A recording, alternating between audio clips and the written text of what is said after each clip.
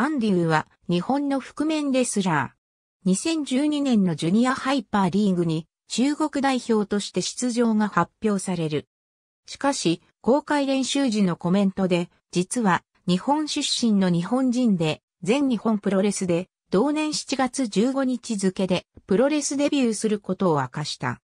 7月15日の京都 KBS ホール大会で、中の上、安文と組田中実ジレットと対戦して、正式にデビュー。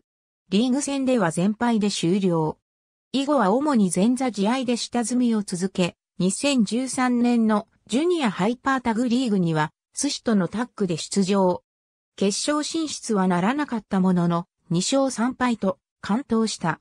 優勝戦翌日の4月8日、練習生の稲葉大輝と共に無期限のメキシコ武者修行が発表された。2013年6月の同団体分裂総同時に他選手と共に対談し、新団体のレッスルマイナス -1 に参加。